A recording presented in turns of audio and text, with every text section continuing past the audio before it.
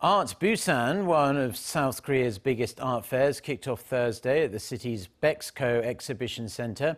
133 galleries from 21 countries are there, including the Kukje Gallery, Gallery Hyundai and Gray. Works by Pablo Picasso, David Hockney and others are on display. The exhibition also includes talks exploring the latest art trends such as NFTs.